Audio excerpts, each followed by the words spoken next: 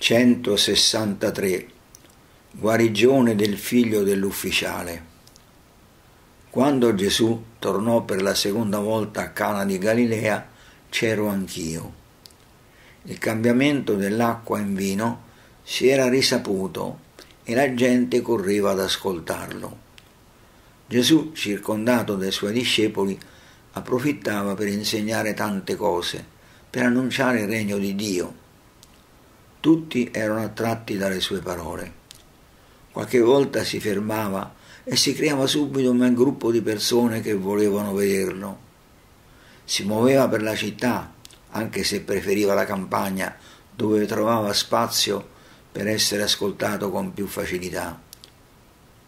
Fu allora che mentre parlava arrivò di corsa un uomo, tutto trafelato, che lo interruppe supplicandolo per il figlio che stava per morire mi passò davanti e subito il, sguardo, il mio sguardo si incontrò con quello di Gesù. Se non vedete segni e prodigi voi non credete. Mi sembrò di sentire lo stesso apparente rifiuto quando gli dissi che era finito il vino. Allora voleva dire che la sua ora l'avrebbe cominciata proprio con me. Ora voleva far nascere la fede nei suoi insegnamenti con quel prodigio che stava per compiere. Signore, scendi, aveva detto il funzionario del re. Va, aveva risposto Gesù. E il miracolo avvenne. L'uomo credette ancor prima di ricevere la conferma della guarigione del figlio.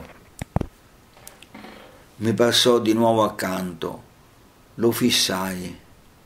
Il mio Gesù non poteva mentire e non poteva lasciare inesaudita la sua supplica. Chiedeva soltanto un inizio come allora chiese ai servitori di attingere acqua e di portarla al responsabile della mensa. L'acqua si cambiò in vino, il figlio del funzionario del re fu guarito. Gesù è pronto a compiere i suoi prodigi oggi come allora, ma domanda sempre qualcosa, vuole almeno la volontà, il desiderio della fede. Alle nozze di Cana non la chiese a me che gli domandavo di intervenire, questo dono aveva già permeato tutta la mia vita, insieme alla pienezza di grazia con la quale fui concepita. La Chiesa ai servi e permise che fossi io ad allargare al mondo intero l'invito di fare tutto quello che egli avrebbe detto. Al funzionario del re chiese di credere alla parola, alla sua parola di vita. Era semplice.